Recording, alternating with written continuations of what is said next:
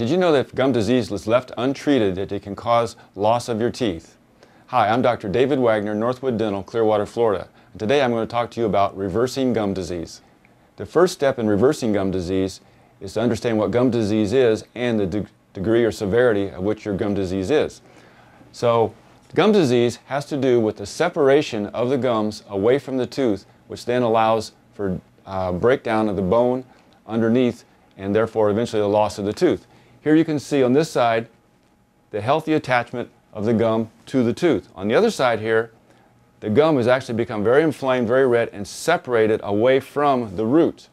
So the treatment or reversing of gum disease has to do with cleaning out this area of all the plaque and accumulated calculus and debris so that the gum now has a healthy spot to reattach to the root.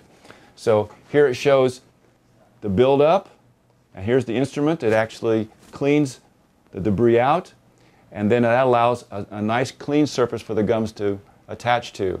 Sometimes we can actually put a um, microsphere specially uh, formulated antibiotic down in there to help promote this type of healing. So that's how you can reverse gum disease.